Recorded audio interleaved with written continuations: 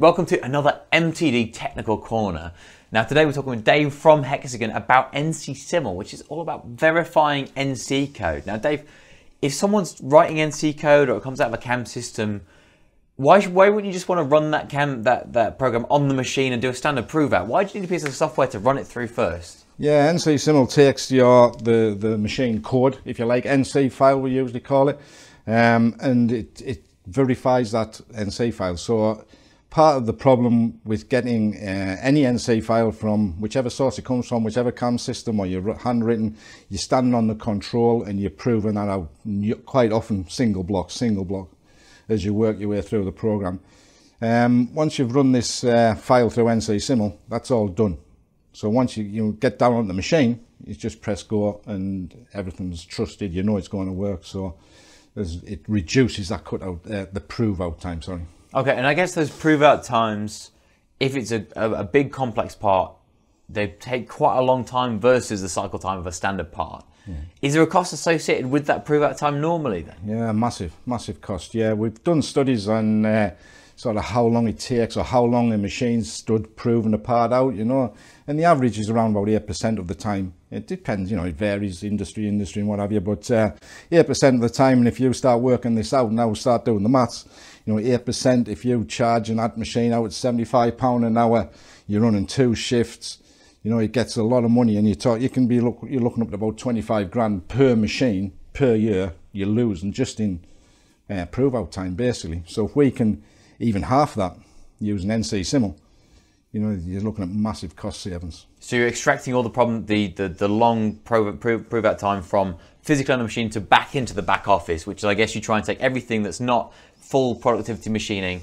out of that um, bottleneck process. Yeah.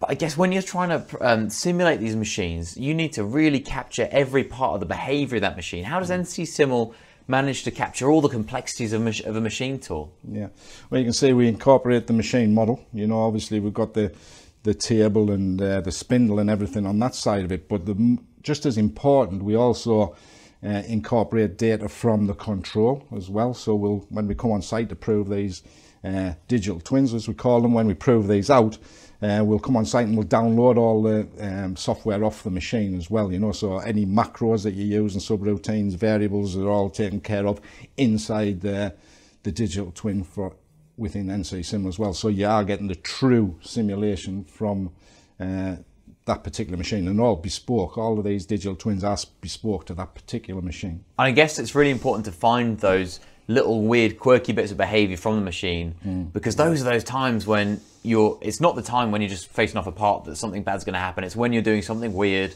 yeah. or there's a strange home position move or some five, five axis movement that you need to make sure that it's not going to smash your machine tool up yeah it's quite often the the bit that's out of cut if you like the link moves the moving back to a safe position or you know what it's like um, when you start if you make any edits on the NC code itself when you study the control sometimes you just have to miss a decimal point and it's a, a disaster you know waiting to happen exactly and looking you know? at a five axis job like this it could be quite easy if you imagine the spindle went straight into the trunnion just because yeah, exactly. of some quick rapid move that you cannot control mm.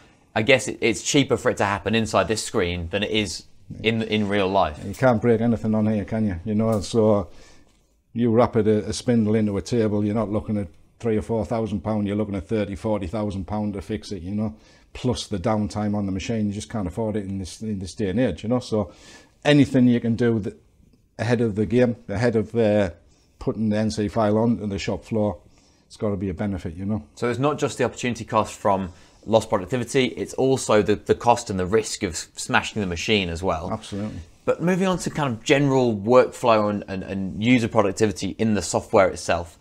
Let's say we, we've done a video already on EdgeCam. So if you check out that in the, in the Hexagon, series of videos, we're doing something on EdgeCam.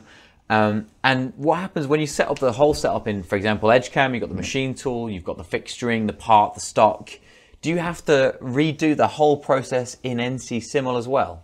You don't have to, no. Um, there's different ways, and some companies work in different ways. You know, you can you can load um, the solid models directly onto the machine bed. It's, when you're using NC Simul, you've got to imagine you stood in front of your machine. It's like the virtual machine tool, you know. So this is where I put my fixture, this is where my datum goes, this is where my stock goes, all this. So you can do all of that independently. and very quick and easy with the, the setup uh, tools that we have. But if you've, like you say, if you're programmed in a CAM system, um, we can we've got interfaces with most of the the big cam systems and you can just directly import everything uh, whether it's you know the the stock the fixture the part all your tools all your datums and everything come directly through from the cam um, so that again, like you say, it and that speeds up the workflow. Yeah. What about You're straight you... in the simulation, basically? You know, the simulation, and then you you're verifying the the So- tool path movements. So once you're straight into simulation, is the simulation run real time, or can you speed it up faster than real time? Oh, much faster. Yeah, you can do it very quickly. You don't even have to watch the simulation. Really, you can just run it in the background,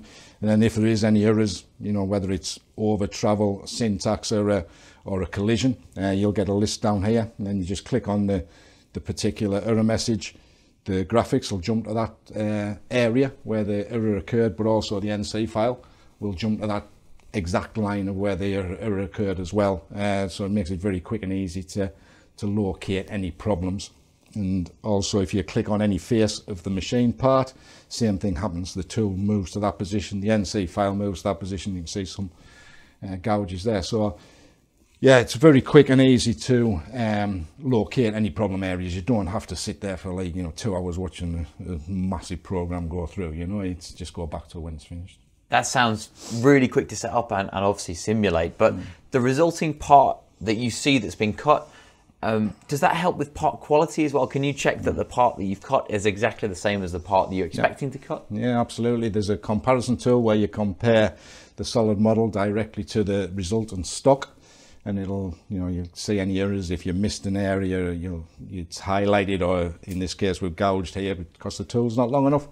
Um, so you'll see all of that, but you can also measure the part as well. So there's tools in there to, to measure the thickness of the walls, depth of the pocket, all this sort of thing. And you can in, an inspection report as well with all the measurements on. So, uh, you know, you go onto the machine, you know that as long as everything's set on the machine correctly, um, the part's going to come off correct, yeah. So you've got a good part off, and you know you're not going to smash the machine. What about actually trying to improve the productivity in those cycles?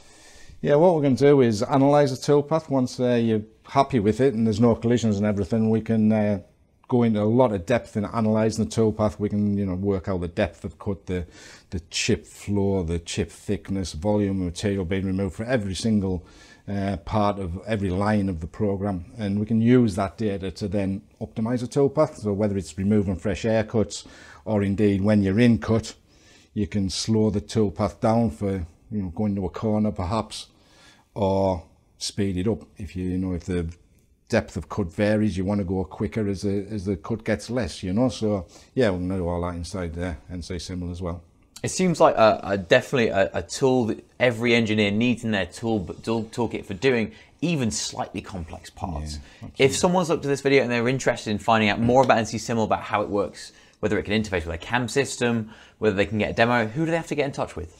Yeah the website again is probably the uh, uh, the easiest way just go ncsimul.com and uh, you'll find the contact details on there and i'm sure we'll uh, be able to accommodate you with the demo uh, as soon as possible And we'll put the contact details on the screen. Thank you very much, Dave. no problem